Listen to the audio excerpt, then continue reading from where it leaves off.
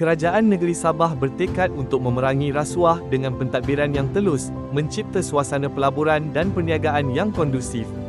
Ketua Menteri Datuk Seri Panglima Haji Haji Ji Haji Nor menyatakan komitmen kerajaan negeri terhadap prinsip ESG, Environment, Social, Corporate Governance yang penting untuk memperkasakan tanggungjawab, memperkuat struktur pentadbiran dan menyediakan kemakmuran masa depan yang lebih berdaya saing. Hal ini kerana amalan prinsip ESG semakin ditekankan dalam membentuk dasar dan amalan perniagaan bagi sesebuah organisasi, khususnya yang mengutamakan kemampanan dalam operasi dan pelaburan mereka. Haji Ji berkata, Sabah telah melaksanakan program pemuliharaan ekosistem hutan dengan serius, termasuk penanaman lebih 2 juta pokok untuk memperkasakan biodiversiti, menyumbangkan kepada penyerapan karbon dan mengurangkan impak perubahan iklim.